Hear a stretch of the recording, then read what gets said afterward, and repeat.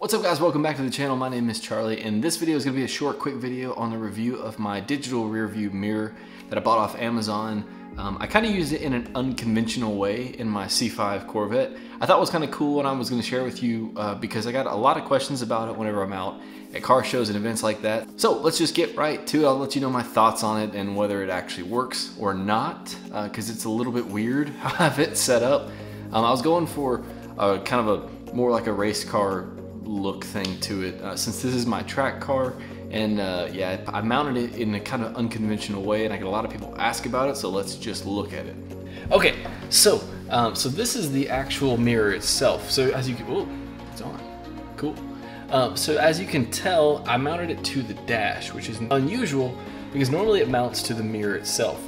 It's got these little straps that go around the back side of it and you just hang it off your factory mirror. Well I put this visor that's way too low on the front windshield, so it's really hard to see out of. So the last thing that I wanted was something bigger hanging off the mirror. So I decided to find a bracket and I custom made this mount to mount it right here in the center dash. And I was really going for the way that a lot of GT3 cars and a lot of Le Mans cars have dash mounted rear view digital camera mirrors.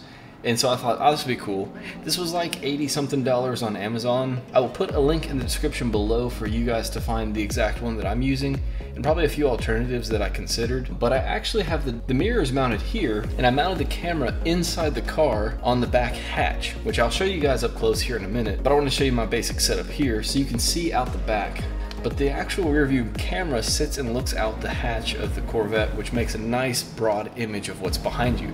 So when you're out on track or anything like that, or just on the interstate, it's really easy to see when people are in your blind spots. And I actually ran a power, I hardwired the power for this thing because you can charge it up and run it on its own battery, but I have it plugged in permanently through a 12 volt source in the car, just so that I don't ever have to worry about charging it up. It's just, it just always works. And something I don't actually use yet because it's mounted low enough to where it doesn't really work, but it also has a front camera. So if I were to put an SD card in it, you can actually see out the front of the car too. So you could record something or another as well.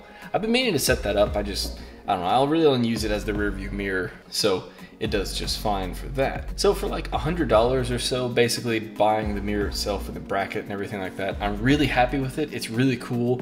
It's, it always gets people asking what it is because it's mounted on the dash.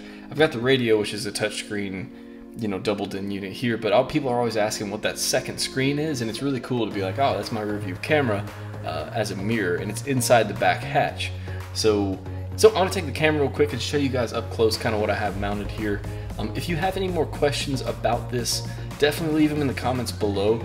You could do this to any car. Um, I'm obviously did this to my C5 Corvette, so I have a lot of knowledge of how I mounted it here.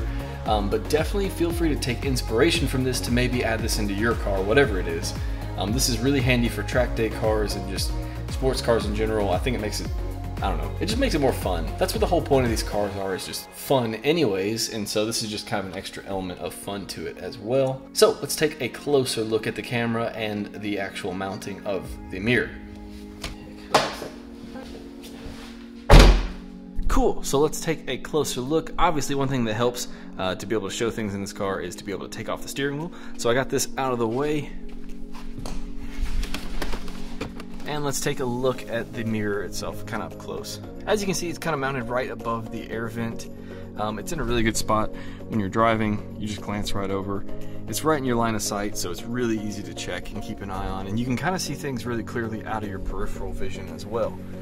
As you can see, there's just the garage door behind it, so I don't know how clear it's going to come through on camera, but it's really quite clear for how cheap it was.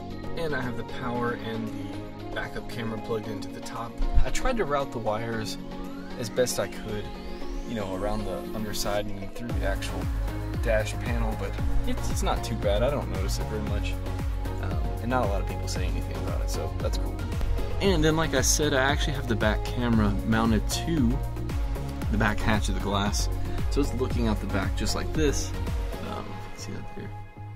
And then I have the wire run along the halo of the car, which is that, you know, roll bar type body part.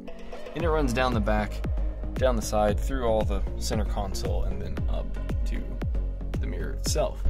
So you can actually see the back of the camera. I have this bracket made, I painted it red, and then these are the things that actually normally would mount around a normal mirror, but I cut them short so that they just mount to this little bracket thing that I have stuck on the dash. And then on this side over here, that's where the actual camera is that faces forward.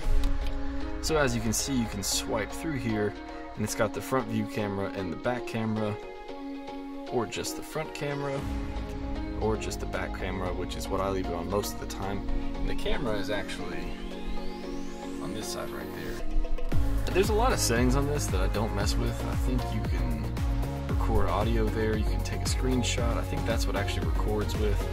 Um, you can change the settings, you can lock something, you can set the date and time, and it tells you how much battery it is, but you can see I've got it plugged into power so it stays on all the time.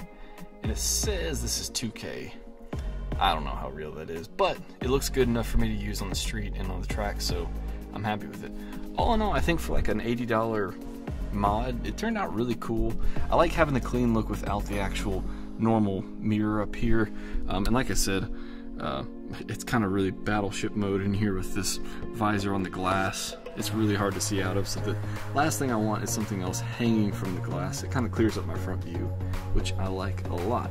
And it kind of turned out cool. It always gets a lot of cool car people asking about it, and that's obviously why we do this, just to hang out and talk with people, right? Cool, so that about wraps it up. So like I said, if you got any questions about it, leave them in the comments below, like and share and all that fun stuff, and I'll see you in the next video. See you.